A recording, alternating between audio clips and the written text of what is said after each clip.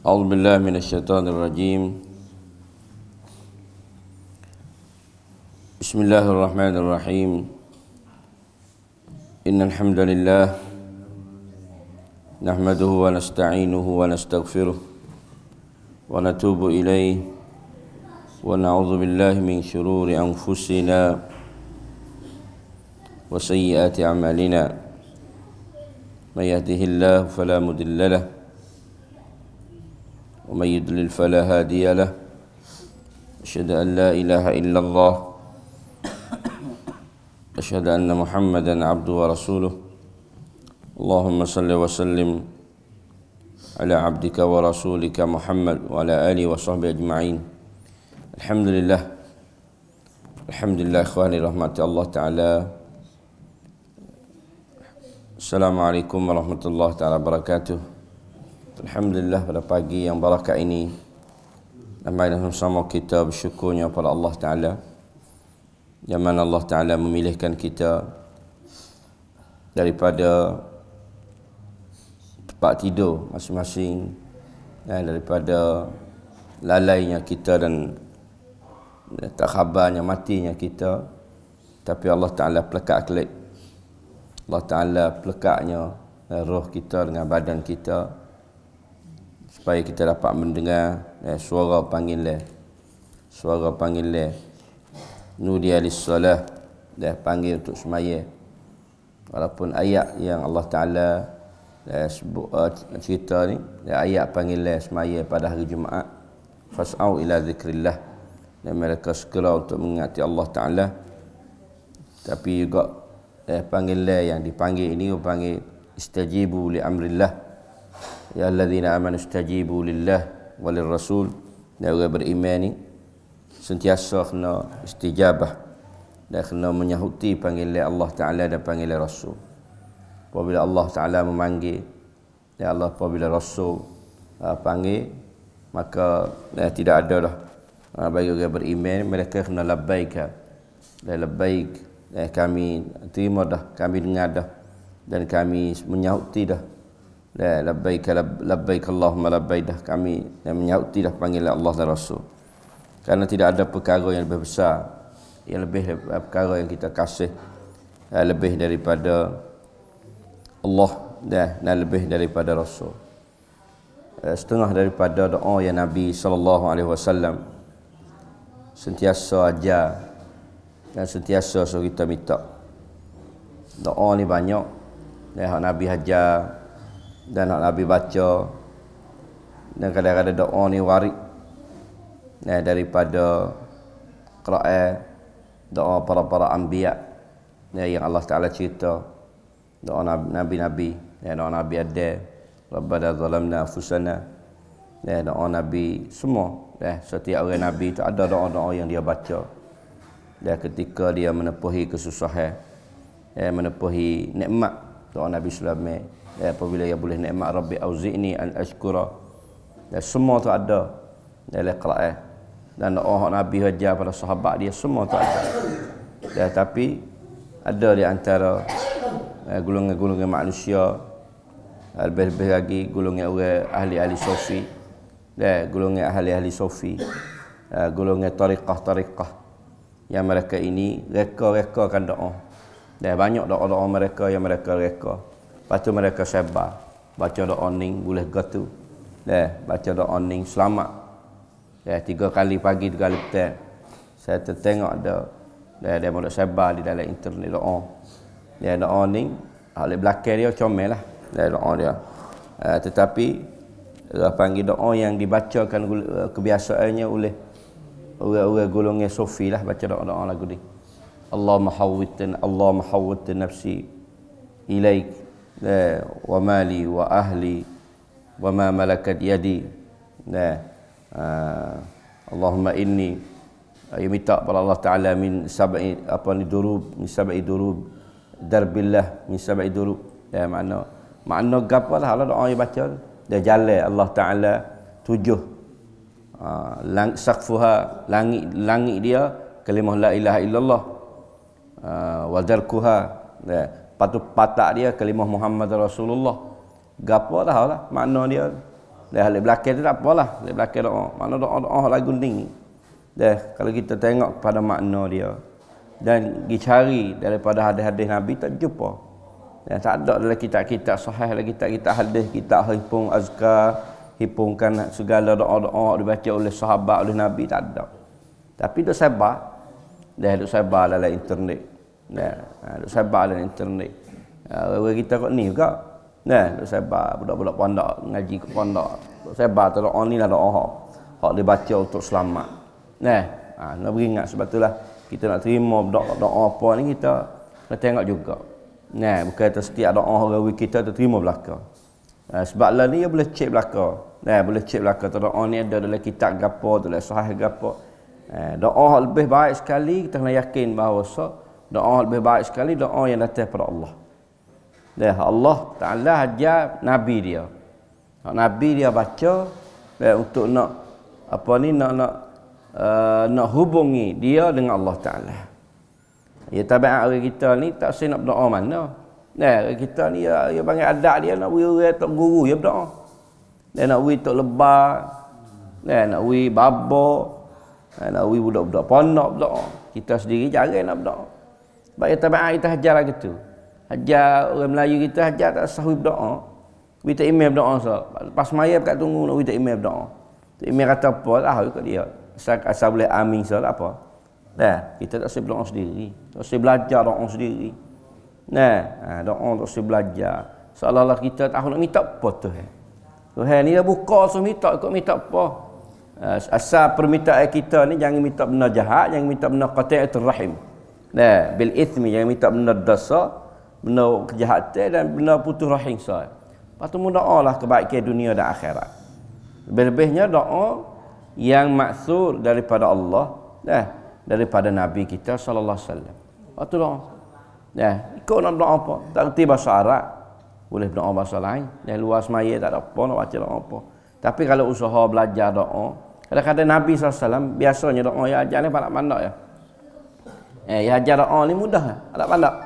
Eh, setengah pada Nabi dah baca aja uh, yang dicerita oleh uh, hadis dari Abu, pada Abu Hurairah radhiyallahu taala an daripada Nabi SAW.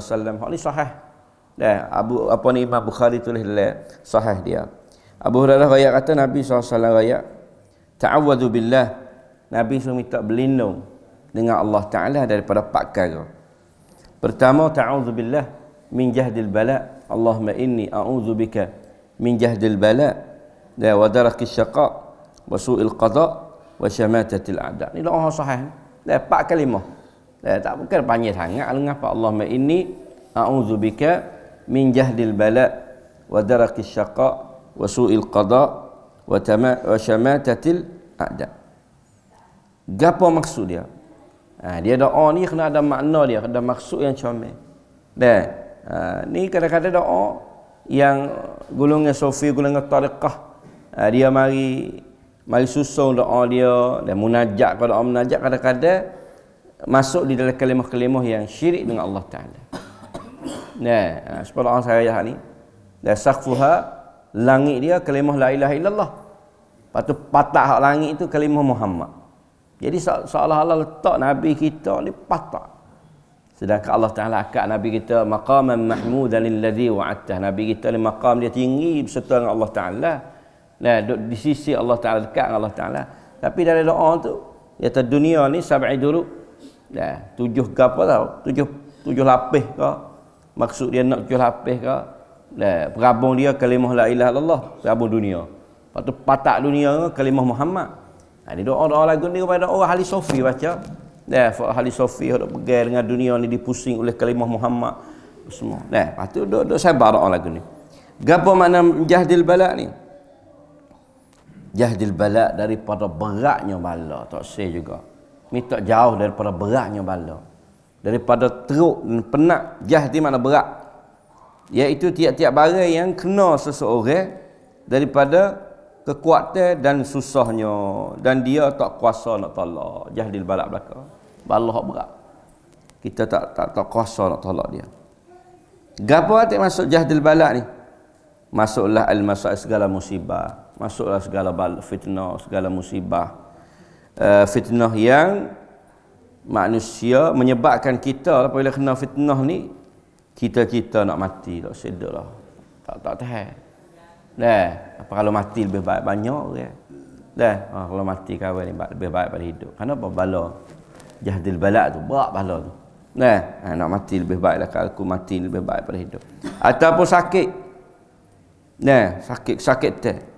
Yang tak kuasa nak tanggung ataupun tak ada jalan nak berubat nak nak berubat tak ada ha, ni jahdil balak juga dan kita nak minta juga kepada Allah Ta'ala yang Allah Ta'ala menguat doa kena bala pada kita nah dan masuk juga dengan jahdil balak ni seseorang yang brutal duyun. Brutal yang dia tak kuasa nak sempurna. Kau brutal kau banyak. Kau tua kau banyak hutang nah setengah daripada bala juga tu. Dia orang ada kau tua kau tak ada hutang lah. Kau muda memang boleh jadi dah hutang tapi kita ni kau tua kau banyak hutang kau tua kau lekat hutang lah umur kau banyak dah. Tapi kau hutang banyak pula. Kau tambah kau tambah. Kau, kau tua banyak. Ada panggil bala juga ni jahdil bala eh, sebab itulah Ibn Sirin Muhammad Ibn Sirin dia kata aku ni aku terasa Allah Ta'ala cuba aku ke masa tua ni dengan dengan banyak hutang dia kata aku teringat satu kali Nah, Allah aku teringat bahawasanya Allah Taala cuba dengan sebab Allah Taala cuba, Allah Taala beri kena bala hutan. Ya tak aku ingat masa muda dulu, aku pernah jumpa dengan seseorang, kemudian aku pergi kata, "Hey ya fulan, ya muflis." Aku pergi kata ke dia, "Mun orang bankrupt." Mana dia pergi ihanah lagi hina kepada seseorang. Dia teringat kata tak ada dah dia buat dosa lain. Dan buat kesalahan pada Allah Taala, tapi dia teringat satu kali ada pernah dia pergi kata pada orang. Ha, gi kata-kata ya muflih gitu ya. Kata temu ni orang bankrupt. Salah gi hinakan satu orang, kata mak boleh jadi sebabkan dosa dia laku ni. Allah Taala uh, tutupkan bala, Allah Taala kenakan bala dia. Dan jadi bos apa umur tua dia ni lekat hutang banyak. Nah, sebab tu dia berasa kata dosa itulah menyebabkan dia ni. Mana hutang ni juga melalui dosa kita juga. Dah, Allah Taala uh, tutupkan apa ni dosa kita menyebabkan kita ni kadang-kadang brutalnya gitu banyak dan siapa tak kuasa ni setengah daripada jahdil balak juga dan juga masuk daripada jahdil balak dan uh, ialah berita-berita al-munkhisatu allati tamla'u qalbahu bil berita-berita yang orang rakyat kita ni memenuhi hati-hati kita dengan kesedihan dengan sedih duka cita dan dan menyebabkan hati kita ni tak kuasa nak sabar. Berita, berita mana berita menyedihkan kita. Ha, itu jahdil balak juga. Dan masuk juga setengah salah yang kata jahdil balak ni masuk juga daripada minta jauh daripada jahdil balak ialah qillatul mal ma'aka salatul iyal. Harta sikit anak ramai. Masuklah jahdil balak juga. Nah, ha, ni banyak kena tafak kita. Dia jahdil balak sebab itu minta minta melindung pada Allah Taala. Kita pihak nak anak ramai. Pihak kita tak ada. Masuk pada jahdil balak. Dah, susah. Ha? Dah, tu kau selerak tabak. Dah, tak ada nak mengaji pun. Tak ada. Kenapa? Kadang-kadang setengah orang. Dah, setengah-setengah orang lah. Setengah orang, Alhamdulillah. Walaupun tak ada usaha mengaji. Setengah orang, apabila tak ada harta, anak. Halah kebala. Nah, tak usaha. Eh, walaupun setengah orang usaha, walaupun ramai tak ada harta, usaha mengaji. Dah, ikutlah. Dah, tak mana. Usaha dia. Dah, mengaji. Ha, ni di antara juga dah qillatul mal ni. Dah tak pada dah, harta kita tak pada dengan kita nak jagakan anak. Lebih-lebih lagi tak ada harta dah tak kerja pula. Dah, ha ni kau lagi. Dah, tak usaha. Ha, tidak usaha orang panggil. Ni orang panggil di antara doa jahdil balak juga. Nabi tak jawab. Allahumma inni a'udzubika min jahdil balak. Daripada beratnya bala. Wa darakis syaqa. Yang kedua ni Nabi suruh kita minta doa jauh daripada asyakawah asyakawah ni kecelakaan daraki makna uh, patak daraki kau turun kau turun kau turun lah kalau kita kalau bina erat kau tu mer kau tu mer tu mer tu balik itu panggil daraki syaka gi kau tak molek semakin lah darak ni makna tangga kau turun. Turun kepada kecelakaan nah asyaka ni makna uh, lawa asal lawa kebahagiaan mana celaka lah. Kecelakaan dunia ni gapo tak kagi kagi kepada mana khatume kecelakaan dari dunia ni ialah sibuknya hati kita dan anggota badan kita ni dengan melakukan maksiat.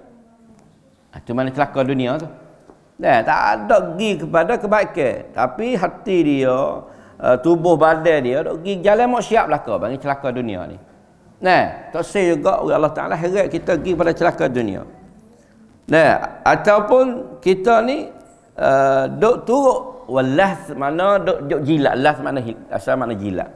Jilat di belakang dunia dengan benda-benda mulhiyat.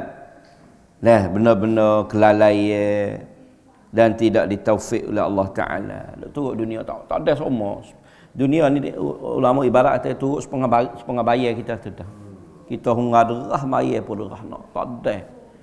Dia tak ada tak ada tak ada semua. Eh apabila turut dunia ni semua bayar. Apabila bayar dia kena berhenti maka bayar tu berhenti. Dah berhenti dunia lepas tu paling paling belakang. Baru tak nampak bayar paling belakang. Dan saya tengok bayar menuju kepada akhirat. Sebab tu Allah Taala ayat dalam awal surah al-anbiya iktaraba lin-nasi hisabuhum wa hum fi ghaflatin muridun. Dekat dah manusia ni oleh hisap mana kiamat ataupun mati dekat dah dia ni. Dah kiamat berkat dah wahum fi ghaflah. Tapi keadaan manusia ni duk lalai lagi. Dah wahum muridun. Lepas tu belakang paling belakang. Dengan akhirat. Sebenarnya kita ni duk hungar duk gi ni duk menuju pada akhirat. Tapi kita lalai kita kita duk gi kepada akhirat Lepas tu kita paling belakang susah. Hunur, hunur, hunur. Depan tak. Kita hunur belakang kepada akhirat. Di dunia kita kita pergi depan. Benar dunia letak belakang kita. Akhirat depan kita. Tapi kita susah ambil dunia tak depan, ambil akhirat tak belakang. Nah, manusia yang lalai lagu tu kaedah dia. Sebab tu kena minta jauh juga daripada darah kisyaqa. Tak usah Allah Ta'ala heret kepada kecelakaan. Yang ketiga, Nabi, ya, akhirat ke apa? Eh, akhirat ni kecelakaan tak ada dah. Ialah ahli neraka lah. Minta jauh daripada kita menjadi pada ahli neraka waliyazubillah. Apabila kita minta daripada Allah Taala jauh daripada uh, lubang kecelakaan mana darah kisah Allah kata uh, apa panggil hell kecelakaan mana jatuh dalam lubang kecelakaan. Qadar qadar qadar qadar ni. Fa anta biha ista'adah maka seolah-olahnya kita minta jauh daripada lubang kecelakaan eh, seolah kita minta daripada Allah Taala ha, mana sebalik tu.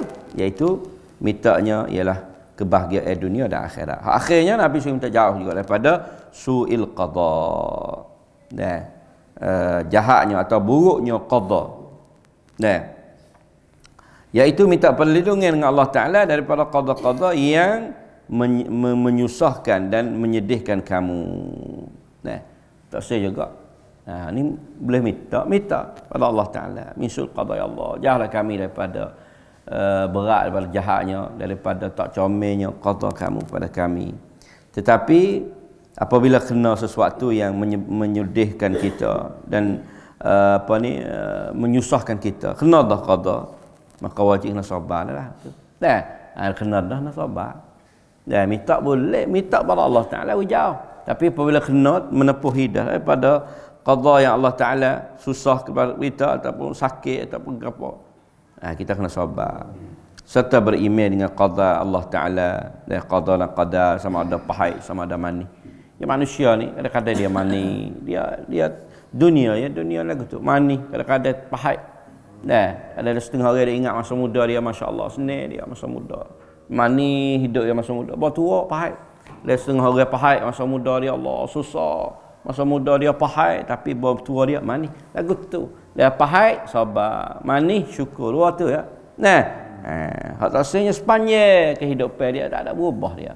Eh, kalau pahai pun tak ada sabar, tak ada sabar. Kalau manis pun tak ada syukur. Dia dia terlupa. Terlupa ni tak rasa. Nah. Ha, sebab itulah uh, daripada juga dah suil qada ni ialah minta oleh Allah Taala jaga kita daripada kita mengambil pendirian dan mengambil apa nama hukum-hukum yang salah. Dan mana kita uh, ambil iqrar ambil, ambil apa ni ambil qarar kita. Mana kita uh, nak buat sesuatu benda. Nah dan uh, kita buat sesuatu benda ni kita nak Allah Taala jaga. Dan satu-satu perkara kita nak buat kita nak fikir kita wang pen penkan kita nak buat satu benda ni uh, we jauh nah we mana we jauh daripada kesalahan dan kesilapan yang kadang-kadang satu benda kita nak buat ni berdarat ya sama ada berdarat di segi dunia dan berdarat di segi di segi akhirat segi agama kita Nah, maka mak setengah daripada manusia ialah orang yang Allah Taala la yuwaffiqu, tidak ditaufik nah, pada mengambil qarar dia. Nah, yang munasabah. Kadang-kadang benda ni dia munasabah pada satu benda, satu tempat tetapi tak munasabah pada satu masa dan tempat yang lain. Tak serupa. Tempat ni boleh jadi kena buat lagu ni. Dah, kita nak buat nak buat waktu ha dia moden buat mulut kita. Kadang-kadang tak serupa tempat dia. Nah, sebab tu panggil nak nak wiyadi Allah Taala wi taufik, wi munasabah dia buat satu benda pengkat dia dia rancang molek dah nak wiyadi dia tak mudarat dunia dan tak mudarat akhirat dia. Uh, kadang-kadang dia kata masuk juga daripada sul qada ni daripada para uh, apa ni uh, hakim pemimpin-pemimpin yang zalim ataupun mengubahkan wasiat ya mengubahkan wasiat ataupun tidak adil uh, di antara anak-anak dia masuk isul qada belaka kita tunaikan qada kita ni Salah hal itu di segi Allah Ta'ala yang tahu kita. Dan hak kita sendiri juga. Dan hak kita hukum di antara anak kita, di antara isteri kita, dan keluarga kita tidak adil. Bagi su'il qadar juga. Minta jauh daripada dan kesalahan kejahatan. Yang akhir sekali Nabi mintanya min syamatatil adab. Nah, daripada makian-makian uh, kata-kata huduh setusu kita. Dan uh, ya manusia ni pada galiknya kata tidak selamat daripada orang yang menjadi lawan dia. Mana ada gulawai dia. Ada orang tak kenal, tak ada orang manusia. Nabi kita hak comel sekali, hak baik sekali pun ada gulawai dia. Pas kita ni mesti kena ada orang tak kenal kita. Nah, bukan itu semua orang kenal belaka, ada orang tak kenal. Dan orang yang tak kenal kita ni dia suka apabila ceh lalu. Orang tak kenal kita apabila kita kena benda tak molek dia suka. Put tangan setengah orang put tangan. Oh sorok. Dah dia cie kita misalnya, kita kena bala gapo kena gapo benda dia suka. Tu kan tak kena kita. Eh. Lepas tu wa yaktamu idha hasala kama yufrihuka.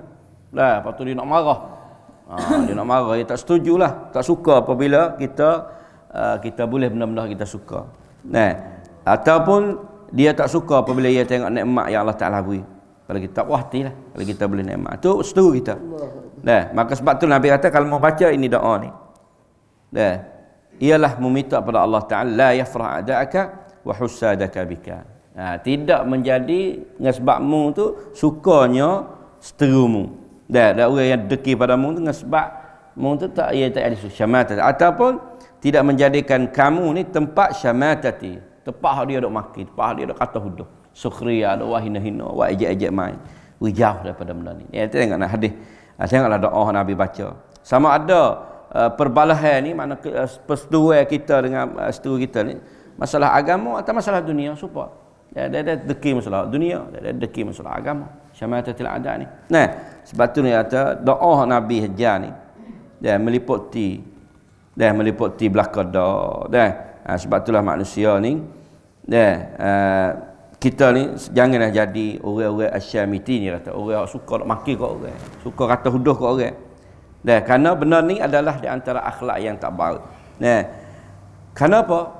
Karena kadang-kala kita kita kata ke orang, nah, kita maki dia atau huduh dia ataupun kita ejek-ejek dia satu kali Allah Taala akan cuba kita pula. Nah, Allah Taala akan cuba kita seperti mana yang kita kata ke dia. Nah, ataupun satu kali uh, dia siapa kita jangan juga mengejek-ngejek kalau orang melakukan maksiat tak boleh dah. Takut-takutnya satu kali Allah Taala cuba kita melakukan maksiat sebab dia juga sebab kita nak mengejek dia.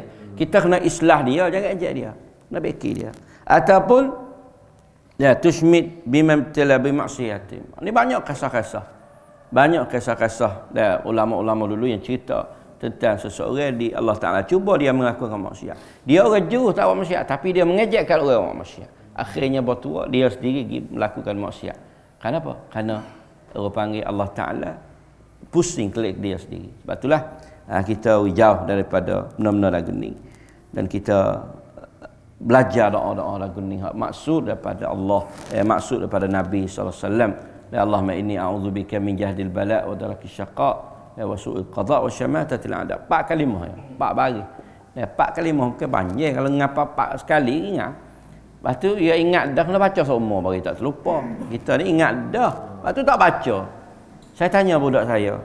Nak beri saya sengaja. Apabila orang mati baca apa? Dia kata baca innalillah. Dia ingat tu. Lepas tu lepas pada tu kita ingat. Doa gapo nak baca? Tak ingat sorang habuk ni tak ingat tanya budak budak muda. Tak lama ni tak lelaki tak mati lagi bakal. Tak ada lelaki ke ustaz? Hmm, sungguh kena dia. Ya nanti baca tak lelaki mati saya. Bakal orang tak ada tak lelaki tak nak baca doa ni. Nah, ha, terbaca doa ni. Tak mana. Bapa sebab ia, ia ingat atas baca innalillah ni baca kau mati. Nah, maka boleh hadis tak nak mati. Lupa dah doa ya. Padahal doa tak ada payah. Allah makjurni fi musibati wa khlif li khairan minha. Dah tak payah. Nah, dia kata kita ni kadang-kadang tak baca benda-benda lagu ni. Sebenarnya setiap hari ni musibah yang berlaku pada kita ni. Dah musibah innalillah wa inna ilaihi raji'un. Dah musibah kecil, musibah besar pun baca doa-doa lagu ni. Aku panggil ni lah doa yang dijamin oleh Allah Taala dan dijamin oleh Nabi. Ini hak sahih.